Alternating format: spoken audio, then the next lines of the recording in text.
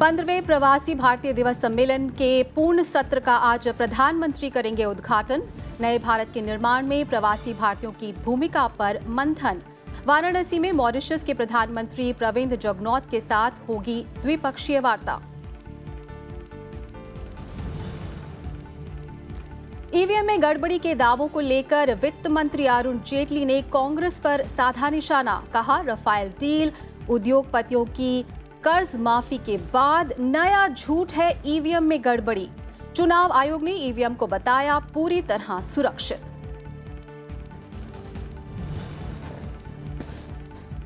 पश्चिम बंगाल के मालदा में बीजेपी अध्यक्ष अमित शाह की जनसभा। आज रैली के साथ ही बीजेपी राज्य में करेगी चुनावी प्रचार की शुरुआत। आने वाले दिनों में मालदा के अलावा कई और रैलियों को संबोधित करेंगे बीजेपी अध्यक्ष।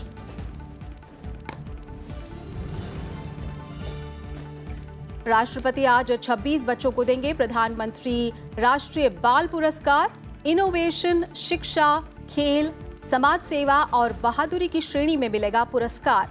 राष्ट्रपति भवन में होगा समारोह।